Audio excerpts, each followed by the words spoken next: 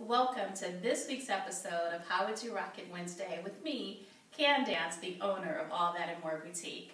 And we talked last week about the nautical look, so I'm rocking the navy jumpsuit, and of course I put a belt with it, an amazing accessory.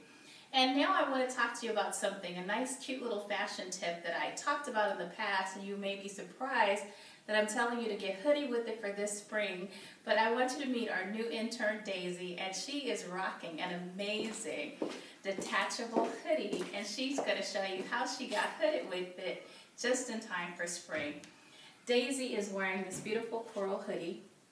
She also paired it with an amazing accessory from the Silver Feather.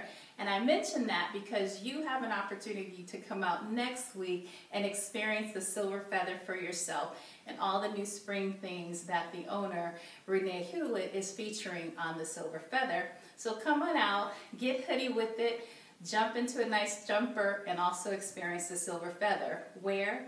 At All That and More Boutique. Thank you so much, Daisy.